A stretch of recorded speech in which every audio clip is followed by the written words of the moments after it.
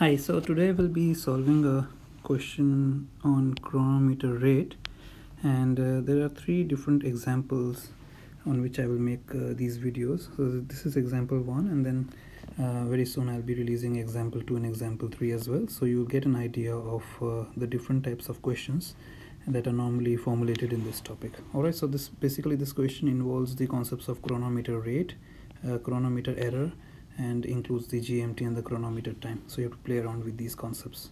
All right, so let's start with the question here.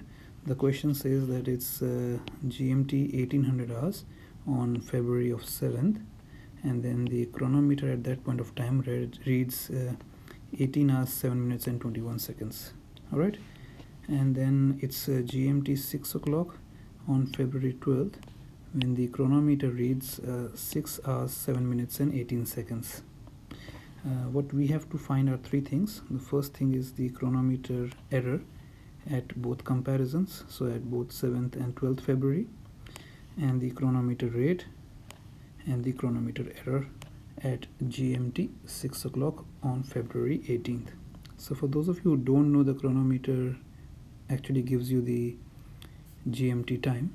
It's a device placed on the ship's bridge and every day you need to check its error and the uh, difference between the actual GMT time and the time that is being shown on the chronometer. Alright, so normally the difference between the chronometer and the GMT should not be more than a few seconds, but for academic reasons, uh, we are showing a considerable difference between the GMT time and the chronometer time. Normally the error is not that big. Alright, so this is only for academic purposes, but the concept and the principles remain the same.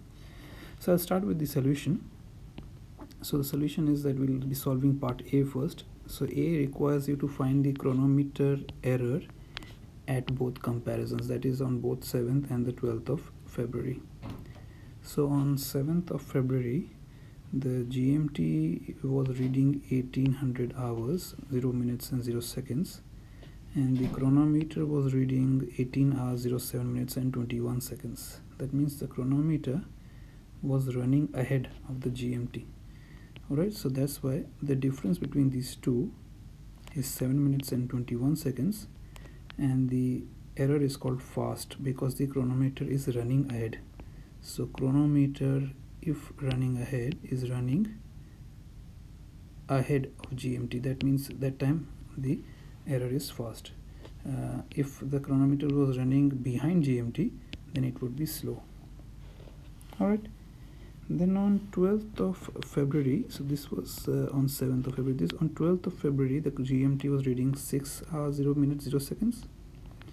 And the chronometer was reading 6 hours 7 minutes and 18 seconds. So same as previous the difference between these two times gives you the error of the chronometer which is 7 minutes and 18 seconds. And again it is fast because uh, same reason chronometer is running ahead of GMT Alright, so on both 7th and 12th of February, the error was fast because the chronometer was running ahead of GMT. The second thing we have to find out is from the question is the chronometer rate. Now let's find out what is the chronometer rate. So GMT on the 7th of February was, uh, and that's called GMT1 here, I'm just calling it GMT1 so that you know the difference, was 1800 hours and GMT2 that was on 12th of February was 6 o'clock or 600 hours 0, 0 minutes and 0 0 seconds. Alright? So the difference in days between these two is 4 days and 12 hours. Alright? If you didn't get how then just think like this. So from 7th of February 1800 hours to 11th of February 1800 hours is how many days? Exactly four days right? Now you must be thinking why I stopped at 11th of February. Because on 12th of February we don't go we don't have to go up to 1800 hours. We only have to go up to 600 hours. So that's why from 11th of February 1800 hours to 6 so sorry to 12th of February 600 hours. And these are all hours all right? Is equal to how many? 12 hours now 12 hours is also equal to 0.5 of a day. You know how? So 12 divided by 24 hours is equal to 0 0.5 that is half a day right? That's why the difference between GMT on the 7th of 1800 hours and GMT on 12th of February 600 hours is four and a half days. Or you can also see it in the calendar. It will work the same way. Just be very mindful of the difference in time. So the time is what you have to be very mindful of alright now the error calculated in the first case from above was 7 minutes 21 seconds fast. This was on 7th of Feb right? And the error 2 was calculated 7 minutes 18 seconds fast. So the above one was 7 minutes 21 seconds the second one is 7 minutes 18 seconds. This is on 12th of Feb. So between 7th to 12th of Feb uh, 3 seconds was lost so basically just subtract one from the other. So although 3 seconds was lost and the error was still fast but 3 seconds was lost. So from 0 7 minutes 21 seconds the error became 7 minutes and 18 seconds. So because the rate of fastness was lessened that's why we say 3 seconds lost. Alright so from 21 seconds the error became 18 seconds. So it was reducing and that's why we say it's lost so we can you can say like this. So rate of fastness rate of fastness was reduced. Alright that's why we say 3 seconds was lost. So for example if it had gone from 7 minutes 21 seconds to 7 minutes 24 seconds then you would have said 3 seconds gained because the rate of fastness would have increased. Alright. So to find the rate 3 seconds was lost in four and a half days right? So 3 divided by four and a half equals 2 by third of a second. And every day so in each day 2 by 3 of a second was lost per day. So 3 seconds was lost in four and a half days plus 2 by 3 seconds of was lost per day.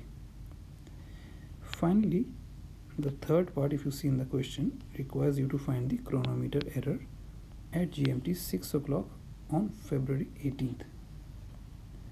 So again pre like previously you start from the 12th of February 12th of Feb 600 hours because that is the time you know the error already the error was 7 minutes and 18 seconds.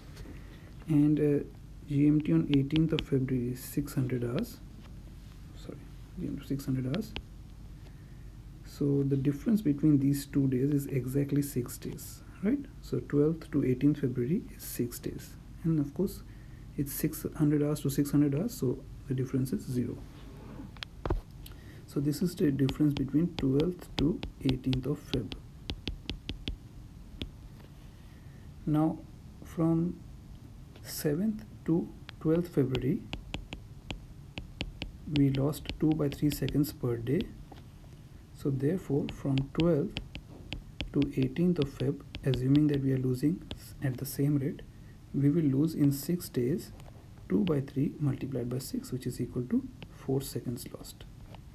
So in the next 6 days you will lose a further 4 seconds and that's why the error on 18th of February will be error on 12th of February which was 7 minutes 18 seconds fast minus the 4 seconds that you have lost between 12th to 18th of Feb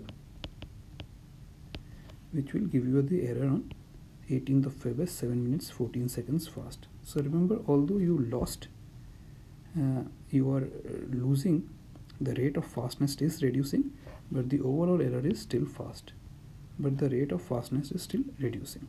So maybe over a period of time this error will slowly reduce to zero alright so that's what it indicates here alright so I hope this was simply explained I will put up the other two examples very soon and you can see the difference uh, or the different types of questions which are formulated in this topic here of chronometer rate and if you have any questions please uh, write to me in the comments and uh, thank you to all my subscribers uh, and I, I, appreciate your suggestions this was also suggested by one of my very kind subscribers uh, and thank you very much for all the feedback and the positive uh, uh, feedback that you give me. I'll see you soon. Bye.